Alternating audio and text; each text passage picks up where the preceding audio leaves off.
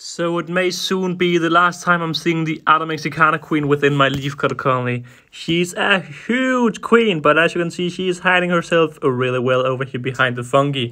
Now, one day in the future, they will build a compartment within the fungi where she will move up and sit and simply build the entire fungi around her. Now, we haven't really seen any big engravements yet where the queen can sit, but already now, she is quite hard to see as she is going here behind the fungi with an angle that I can't really see her at. In general, I just fed the colony and they seem to be doing really well with lots of cutting. Although it's interesting that with this type of leaf, they are doing smaller cuttings where normally they go for big, large leaf chunks.